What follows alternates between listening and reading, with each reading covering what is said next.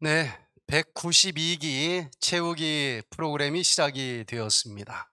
오늘도 미국에서 또 저쪽 전국 각지에서 이렇게 멀리 또 192기 채우기를 위해서 참여하신 여러분들을 진심으로 환영합니다. 우리 환영의 박수로 맞이해 주시기 바랍니다. 네, 감사합니다. 아, 덥지도 않고 춥지도 않는 이 아름다운 계절에 또 한 주일 동안 우리가 최선을 다해서 아, 이 몸과 마음을 어떻게 하면은 잘 보살필 수 있을지 또 배우고 실천하면서 한 주일 동안도 우리 몸과 마음 속에서 놀라운 일들이 아, 나타날 수 있게 되기를 간절히 기도합니다. 어, 여러 가지 질병들이 우리를 괴롭히는 그런 시절입니다. 그 중에서도 가장 무섭고 또 힘든 질병이 있다고 하면은 아마도 암이라고 얘기할 수 있을 텐데 현대의학이 이렇게 발달했는데 암이 정복이 불가능한 것인가 좀 의아해 할 사람들도 있을 거예요. 이미 1971년도에 미국의 닉슨 대통령이 달나라까지 몇 년 계획을 세웠더니 정복하는 것을 보면서 이제는 암과의 전쟁을 치르자 암을 정복해 보겠다고 어마어마한 자금을 투자하면서 전쟁을 치렀습니다. 벌써 50년이 지났는데 여전히 암은 정복이 안 되고 있습니다. 도대체 왜 그럴까? 어떻게 하면은 암을 비롯해서 여러 가지 질병들을 정복할 수 있을까? 우리 인류의 숙제이기도 합니다. 그런데 최근 10년 동안 드디어 아, 여기를 잘 살펴보면은 암을 비롯한 여러 가지 질병을 정복할 수 있겠다. 새로운 희망들이 이 의학계에서 솟아나기 시작을 했어요. 우리 몸 속에 있는 세포들만 연구한 결과 그렇게 많은 자금을 투자했는데도 암은 정복이 되질 않는 겁니다. 그런데 알고 보니 우리 몸속에 살고 있는 생명체가 세포는 30조 개 정도가 있다고 하면은 우리 몸속에 또 다른 미생물이라고 하는 생명체가 그보다 더 많은 39조 마리나 살고 있다고 하는 것을 알게 된 것입니다. 그러면서 연구해 보니 인간의 이 세포보다도 우리 몸속에 있는 미생물들은 뭐 계산법에 따라 다르지만은 훨씬 더 많은 미생물들이 살고 있다라고 발표를 하고 숫자가 중요한 게 아니라는 거예요. 결국은 그 생명체들의 유전자가 망가질 때 모든 질병들이 생기는데 사람 속에 있는 유전자 게놈은 약 2만 2천 개 정도 유전자를 가지고 있는데 우리 몸 속에 있는 미생물들이 가지고 있는 유전자의 종류는 자그마치 330만 개나 된다는 것입니다. 그런데 인간은 99.97%가 서로 유전자가 비슷합니다. 그런데 우리 몸속에 살고 있는 미생물들은 서로 80% 내지 90%가 유전자가 달라요. 그래서 이 미생물들의 유전자가 잘못됐을 때 수많은 종류의 질병들이 찾아오는데 이제 이 분야를 우리가 연구하기 시작을 했고 인간이 가지고 있는 질병들이 사실은 90% 이상이 이 미생물과 관련되어서 발생한다는 것을 알게 됐는데 지금까지 이거는 쳐다도 안 보고 우리 세포만 세포만 연구했으니 아무리 많이 연구했고 의학이 발달됐다 할지라도 너무나 많은 부분을 우리가 모르고 있었다는 사실을 알게 됩니다. 그래서 지금까지 수많은 치료법들을 동원했지만 도대체가 정복될 기미가 없던 암을 비롯해서 수많은 불치병, 난치병 이제 장내 미생물을 바라보면은 해답을 얻을 수 있겠다. 모든 분야의 전문가들이 이쪽을 지금 연구하기에 혈안이 되어 있다는 것입니다. 그래서 저는 오늘 이 시간에 암 완전 정복, 장내 미생물이 답이다라고 하는 제목으로 장내 미생물들을 우리가 조금 관심을 갖고 어떻게 하면 장내 미생물들을 정말 불균형이 아니고 균형진 상태로 돌릴 수 있을까? 여기에 우리의 에너지를 쏟아붓는다라고 하면은 암을 비롯한 여러 가지 불치병들이 치료될 수 있고 완전 정복이 가능할 수 있겠다라고 하는 소망을 가질 수가 있다는 것입니다. 여기 어, Cancer Journal for Clinic Clinicians 이 유명한 저널 2017년 7월 달에 발표된 연구 결과를 보니까 암 발생 및 치료에서 microbiome의 역할 지금까지 암은 잘라내든지 방사선으로 지지든지 아니면 항암제를 가지고 죽이든지 뭐 기껏해야 발달했다고 해봤자 면역 항암제, 표적 항암제 거기서 거기입니다. 그런데 이제 그쪽이 아니고 바로 마이크로바이옴 우리 몸속에 있는 미생물들을 통해서 암을 예방하고 치료하는 방법을 한번 살펴보자 이런 연구들이 엄청나게 쏟아져 나오고 있습니다. 여기 보니까 어떤 사람은 그 항암제를 딱 투여했더니 암이 없어지고 몇 년 산다는 사람들도 있어요. 그런데 왜 똑같은 암을 가지고 똑같은 항암제를 투여했는데 누구는 내성이 생기면서 안 낫느냐는 거예요. 그 이유가 최근에 밝혀지고 있는데 그 두 사람 그 장 속에 살고 있는 미생물들이 다르기 때문에 그렇다는 겁니다. 바로 이 암에 대한 감수성, 어떤 그 항암제가 암을 죽이는데 얼마나 민감하냐 이것이 사람에 따라 다른데 그 다른 이유가 이 속에 있는 미생물들이 어떤 애들이 많이 사느냐에 따라서 다르다는 것을 알게 됐습니다. 그것을 암 감수성이라고 이름을 붙였어요. 특별히 현재까지 연구한 결과로는 우리 몸속에 살고 있는 미생물들이 지금 암을 가지고 있는 사람들 중에서 적어도 15% 내지 20% 이상이 미생물 때문에 생긴 암이라는 것입니다. 근데 갈수록 20% 정도가 아니라는 거예요. 직접 간접적으로 거의 모든 질병들은 장내 미생물과 연관되어 발생한다는 것입니다. 그리고 더 많은 수의 악성 종양들은 dysbiosis의 변경된 구성과 관련이 있다. 뭐 20% 정도가 아니라 더 많은 암, 더 많은 여러 가지 불치병들이 우리 몸 속에서 유익균과 유해균이 살고 있는데 요 균형이 깨져서 dysbiosis 바로 미생물 불균형 상태에서부터 이 모든 질병들이 찾아온다는 겁니다. 유해균이 너무 세게 있는 사람들 그러면 우리가 먹은 음식들을 이 유해균들이 분해시키면서 여러 가지 독소 부산물들을 만들어내고 그 독소 부산물들이 세포를 공격하면 염증이 생기는 것이고 세포 속에 있는 유전자를 공격하면 유전자가 망가지면서 그게 암세포가 되는 거예요.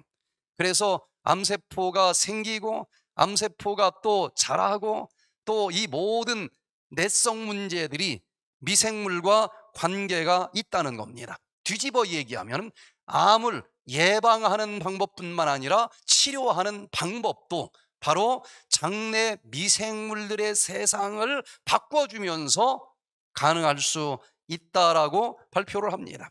자, 그래서 우리 몸 속에 크게는 이 미생물들의 세계를 나누어서 학자들이 분류를 했는데, 아, 그 중에서 내가 먹은 음식을 얘들은 먹고 자랍니다.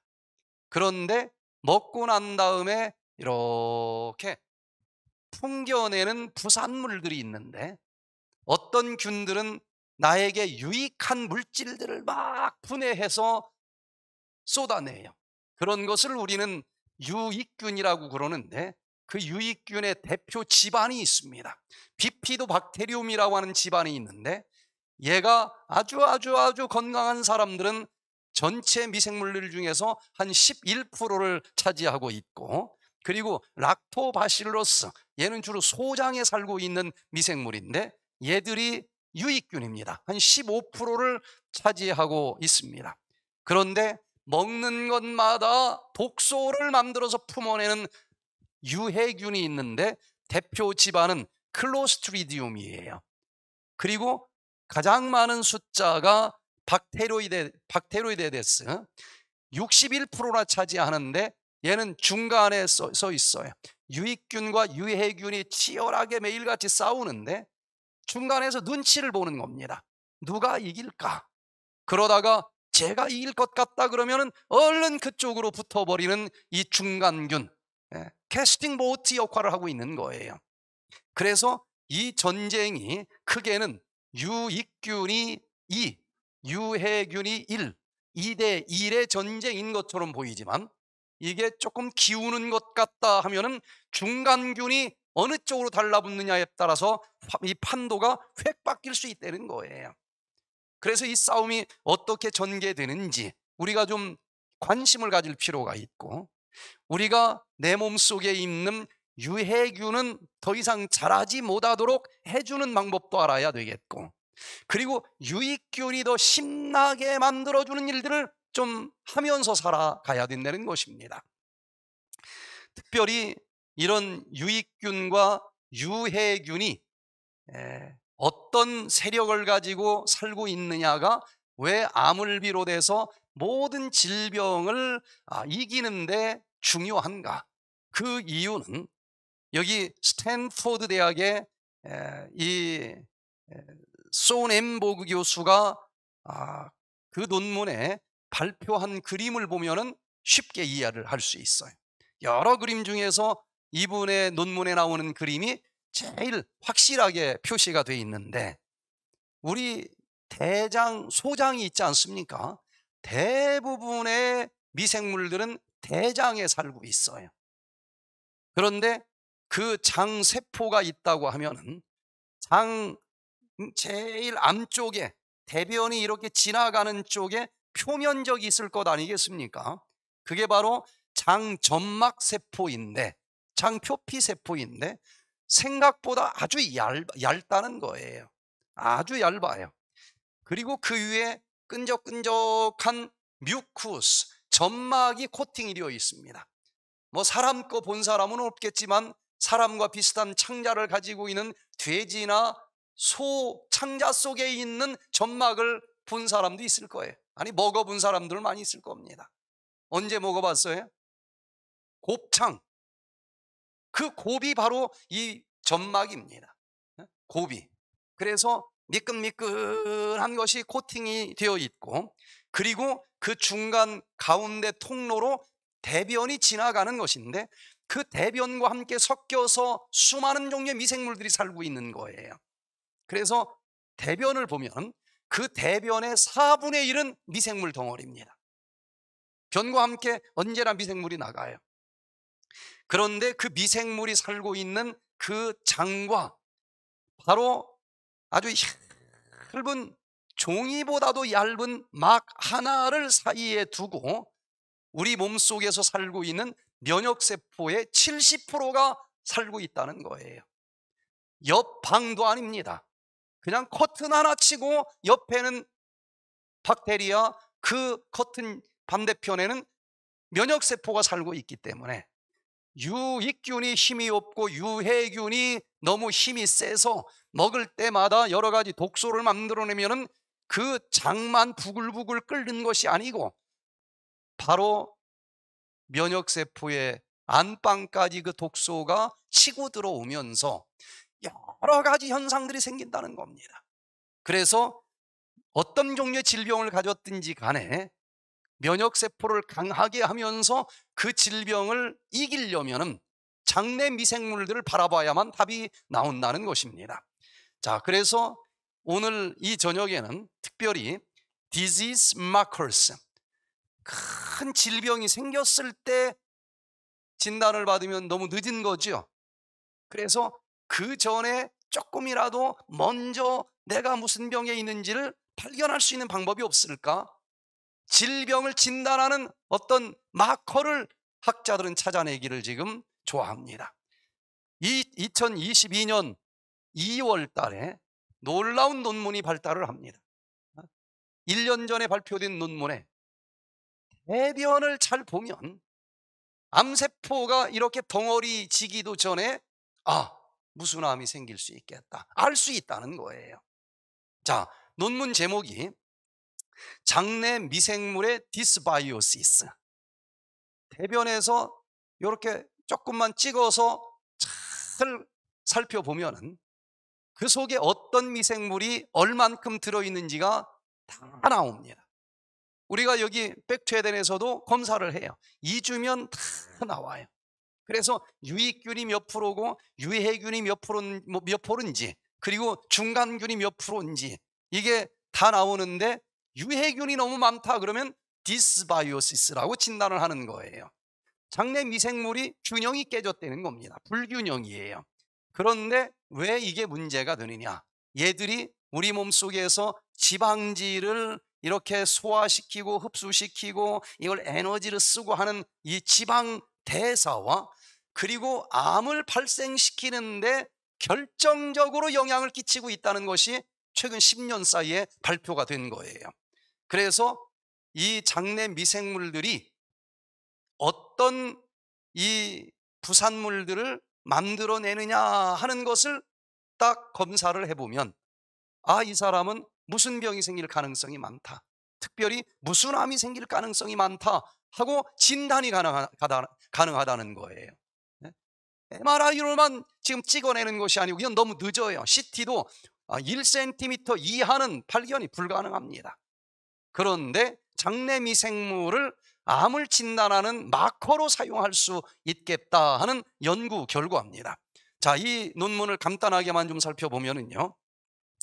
장내 세균 군집은 담즙산과 단쇄 지방산의 대사에 관여한다는 거예요. 즉 장내 미생물들이 누가 살고 있느냐에 따라서 내가 음식을 먹을 때마다 얘들이 아작아작아작 먹고 살 뿐만 아니라 뭔가를 뱉어내놔요. 그런데 유익균이 뱉어놓은 것은 단쇄 지방산이고 여러 종류가 또 있어요. 그리고 또 유해균이 뱉어놓은 것은 또 우리 몸을 나쁘게 하는 여러 가지 부산물들이 있습니다. 그런데 얘들이 담즙산을 만드는데 관계를 한다는 거예요. 그리고 단쇄 지방산을 이 만들어내는데도 관계를 하는데 이게 왜 중요한가? 담즙산은 쓸개 주머니에 있습니다. 물론 간에서 만들어져요.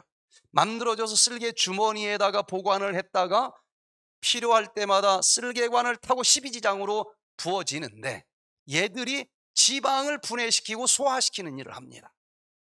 이것이 너무 많이 나오느냐 너무 적게 나오느냐에 따라서 지방이 소화가 안 되는 사람도 있고 지방이 대사가 잘 되는 사람도 있고 그래서 지방이 너무 아랫배 많이 쌓이는 사람도 있고 그래서 결국은 이 심장의 관상동맥에 너무 많이 쌓였다 협심증 뭐 뇌혈관에 많이 쌓였다 뇌경색 수많은 종류의 이 대사성 질환을 발생시키는 것이 이 미생물의 관계가 있다.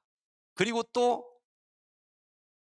최근에 밝혀진 연구 결과는 그 단쇄 지방산을 만들고 여러 가지 이 독성 부산물들을 만들어내는데 이것이 결국은 결장암, 간세포암, 수많은 세포의 유전자들을 그 독소가 망가뜨리면서 여러 가지 암들을 만들어내기 때문에 미리 이 미생물들이 뱉어놓은 부산물들을 잘 살펴보면은 어떤 암이 걸릴지 훨씬 지금보다 더 일찍 발견할 수 있다는 거예요. 대변 검사를 통해서. 자, 무슨 근거로 그렇게 얘기를 하는지 그 논문에 있는 한 페이지의 그림을 가지고 설명을 좀 해보겠습니다. 이 연구에서는 먹거리를 크게 두 종류로 나눕니다. 어떻게 나누느냐? 유해균이 좋아하는 음식, 유익균이 좋아하는 음식 이렇게 나누어요. 제가 그 논문에 있는 걸 그대로 여기 옮겨왔는데 유해균은 고지방 식이를 좋아한다는 거예요. 지방이 많은 음식을 좋아한다는 겁니다. 이건 주로 어디에 많이 들어 있을까요? 고기 중에서도 붉은색 고기, 레드밋, 그리고 가공육, 뭐 고기도 아닌 것이 고기인 것처럼 만들어져서 나오는 뭐가 있어요? 햄 같은 거, 뭐 여러 가지가 있습니다. 이런 걸 먹으면 어떤 일이 벌어지는지 이 연구자들이 자세히 이제 정리를 해서 발표를 했는데 그걸 먹으면 유해균이 좋아한다는 거예요. 그리고 유해균이 2차 담즙산을 만드는데 관여한다는 겁니다. 이 유해균이. 그리고 예를 들어서 DCA와 LCA와 같은 그런 그 대사산물이 이제 만들어지면서 2차 담즙산이 탄생을 하는데 그 담즙산이 너무 독성을 띠면서 우리 몸 속에서 산화 스트레스, 산화 스트레스를 만들어낸다는 거예요. 스트레스를 만들어내요. 그러면은 이것이 몸 속에서 아주 활성화된 산소를 발생시키고 그 활성화된 산소가 세포 속에 있는 유전자 DNA를 딱 망가뜨려. 그러면 암세포가 생긴다는 것입니다. 예?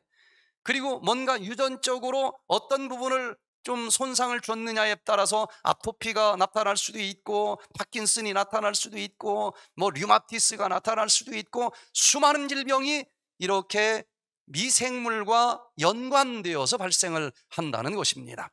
그러면 드디어 이런 메커니즘에 의해서 암이 발생을 할 수가 있고 또 그 독성이 있는 담즙산과 관계돼서 NFK B 같은 물질이 나오는데 얘는 어떤 이 사이토카인을 면역세포가 바로 옆방에 살고 있다고 그러지 않았습니까? 그 면역세포를 이 독성이 또 자극을 하니까 면역세포가 따발총을 막 쏴요. 그러면 전염증성 사이토카인 면역세포가 쏜 총알은 총알인데 얘들 때문에 염증이 생기게 해주는 그런 사이토카인이 분비가 되고 그 장 부위에 간 부위에 염증이 생겨요.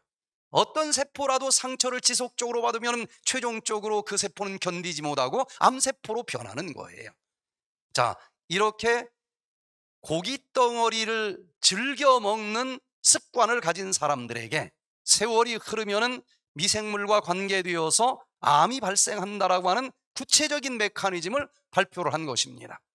그런데 반대로 에덴 농산에서 하나님이 너희들은 이 음식 먹어라 한 걸 보면 고기 생선이 전혀 들어가 있지 않아요. 식이 섬유질이 많은 과일과 채소와 곡식과 콩을 즐겨 먹으라고 되어 있습니다.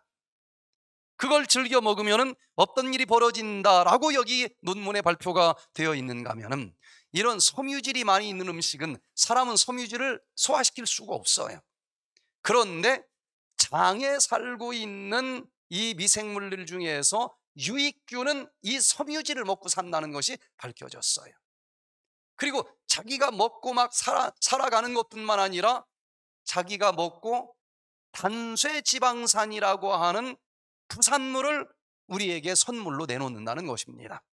그 중에서도 부티레이트라고 하는 이런 부산물들은 나쁜 독성 물질을 만들어내는 것을 억제해 주기도 하고 또 직접적으로는 이 부티레이트와 같은 아, 유익균이 만들어낸 아, 부산물들은 어떤 일을 하는가 하면 첫 번째 GPR 43, GPR 41, GPR 109A 이런 것들을 또 발생시키면서 얘들이 T세포라고 많이 들어보셨죠? 암세포 잡아먹는 T임파구를 야 나가서 좀 싸워야 되지 않겠어? 그러면서 막 격려해 주는 일을 한다는 거예요.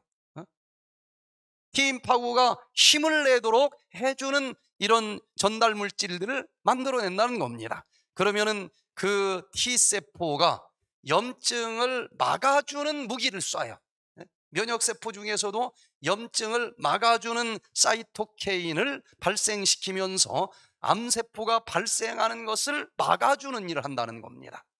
또 한편으로는 유익균이 만들어낸 부틸레이트와 같은 단쇄 지방산은 TGF, 베타 같은 물질을 만들어내고 얘는 이미 생긴 암세포를 찾아가서 야, 너 그냥, 그냥 죽으면 어떻겠니? 자꾸 자살하라고 신호를 보낸다는 거예요. 아포토시스. 그래서 이미 생긴 암세포가 세포 자멸사를 하게 하면서 암세포가 자꾸 줄어들게 만들어 준다는 겁니다. 또 한편으로는 이 부티레이트와 같은 아, 단쇄 지방산은 암세포가 이렇게 주기가 사이클이 있어요.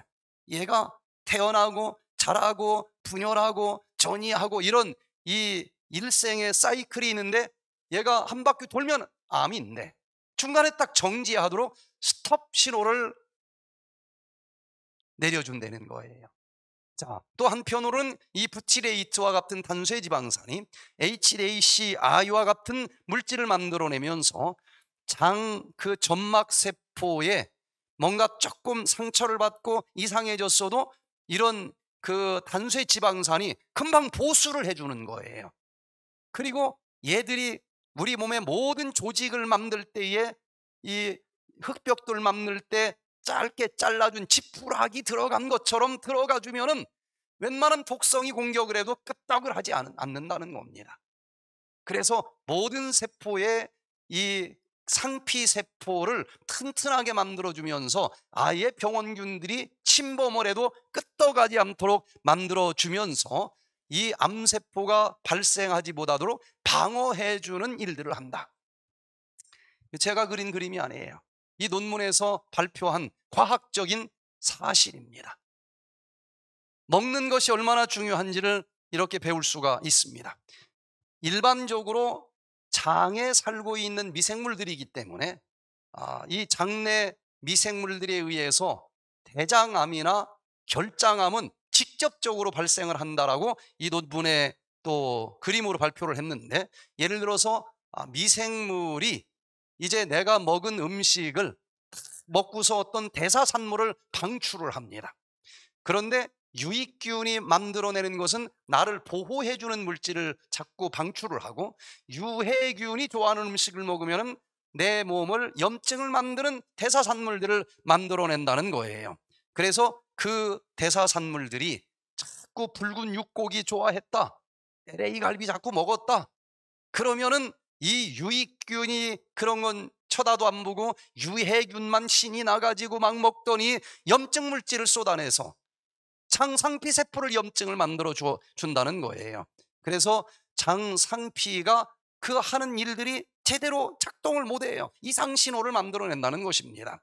이제 그 미생물이 그냥 점막 세포 정도만 좀 망가뜨리는 것이 아니고 그 부분을 계속 염증을 만들면서 암세포로 그 세포가 변하게까지 만들어 준다는 것이고 그리고 이제 2차적으로 더 큰 문제는 바로 그 옆집에 누가 살고 있다 그랬어요?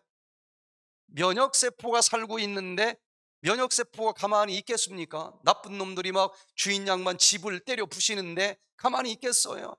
그냥 따발총 가지고 갔다 따다다다 쏘는 거예요. 그러다 보니까 염증이 더 많아진다는 겁니다. 그래서 드디어 암세포가 생기고 거기에만 얌전히 있는 것이 아니고 피를 타고 림프관을 타고 또 돌아다니다가 전이가 된다는 거예요. 그래서 장내 미생물이 사는 동네에서 염증 생겨서 암세포가 생기는 것은 직접적으로 설명이 가능한데 거의 모든 질병이 연관되어 있다라고 하는 그림을 또 하나 보여줬는데 자, 이 그림을 보면은 지금 장에서 유해균이 만들어낸 부산물을 여기 보니까 혈관으로 흡수가 되고 간으로 들어가서 심장으로 들어가면 전신으로 돌면서 어디에 가서 자리 잡았느냐에 따라서 폐암을 일으킬 수도 있고 위암을 일으킬 수도 있고 뭐 뇌종양을 일으킬 수도 있고 또 암뿐만 아니라 모든 질병이 이런 메커니즘에 의해서 발생할 수 있다는 거예요. 그래서 지금 이 현대 의학의 좀 앞선 학자들은 지금까지 그렇게 연구를 했는데도 도대체 답이 보이지 않던 불치병, 난치병들은 장내 미생물 쪽에서 이게 뭔가 dysbiosis 네? 장내 미생물이 불균형이 된 데서부터 시작을 한 거다. 그런데 이걸 바꾸는 방법은 음식을 바꾸는 것이다.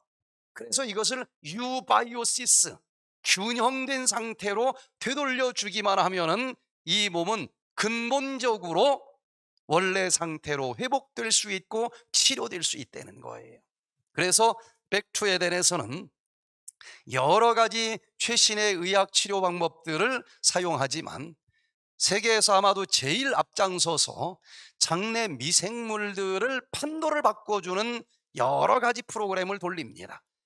그러면서 첫날 와서 나 이거 구체적으로 한번 싸움을 해봐야 되겠다 하시는 분들이 장내 미생물 검사를 하고 그리고 또 한 달 동안 해본 다음에 다시 검사해서 아직 뭐가 부족한지 어디까지 좋아졌는지 이렇게 과학적으로 확실히 상담받아가면서 한번 싸워보겠다 하시는 분들은 우리가 자원을 받아서 아, 이 미생물 검사까지 하면서 이 치료를 합니다. 그리고 연세대학 연구팀과 또 삼육대학 연구팀에서 이것을 전 세계에 발표할 수 있는 이 과학적인 논문으로 또 준비를 하고 있어요.